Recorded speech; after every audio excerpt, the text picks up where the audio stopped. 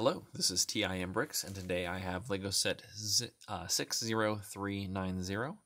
It's the uh, park trailer. So, really like this set. Uh, I wasn't actually originally going to get it, but I decided to pick it up. Uh, another 9.99 set. Um, comes with cool minifigure and squirrel, and then this little vehicle here. He's got that uh, nice torso. The uh, print doesn't quite match the pants, but uh, that happens often. Got the little watering bucket. Uh, comes with some of these nuts. He's got a nice smile and a green hat. No alternative face because you'd see it. It's nice to keep getting these squirrels. Oops. I purchased a bunch of them on uh, Bricks and Pieces, so I have a bunch, but more is always welcome. Uh, then you get this little tractor trailer thing. These are uh, prints.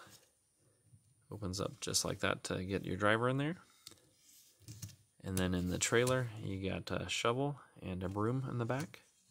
And it comes with some plants. So you get the tree that the guy can go plant. And then you get this. It's uh, some jumpers in there so you can easily attach and detach. But he's supposed to go along, driving, and uh, pick these up and plant them in the ground. So, planting some trees. Got a nice um, print for the uh, ladybug there. But yes, uh, this set reminds me of the set where he's planting plants in um, the park that came out last year, also with a squirrel. So, pretty cool. It's always nice because they always do a bunch of the same type of sets, and then uh, this is actually something different. So nice to see that. But uh, thank you for watching, and stay tuned for more.